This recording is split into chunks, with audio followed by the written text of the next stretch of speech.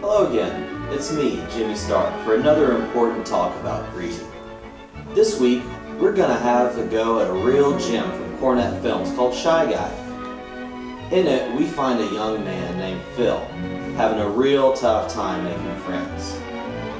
He starts to watch how others interact with people and learn some real big lessons. Let's have a look.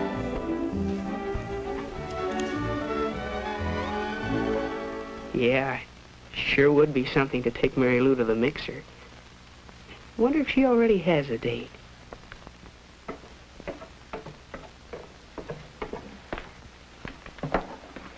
Well, how's the oscillator coming along? Hi, Dad. Oh, I haven't quite got it working yet. But, you know that other business we were talking about? Well, I've been following your advice. How about it? Find out anything? Yeah, Dad, I think I did.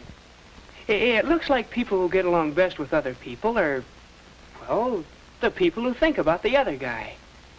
They make a point of listening to what others have to say and watching for ways to do things for them, being polite toward them. Do you suppose it's sort of a case of thinking so much about other people that you don't have much time yourself? Well, perhaps that's right. Maybe the best way to find out is to try it the next chance you get. You know, Dad, there's a mixer Friday night. I uh, wasn't going to go, but in the drugstore the other day, Chick said I ought to come. Good idea, Phil.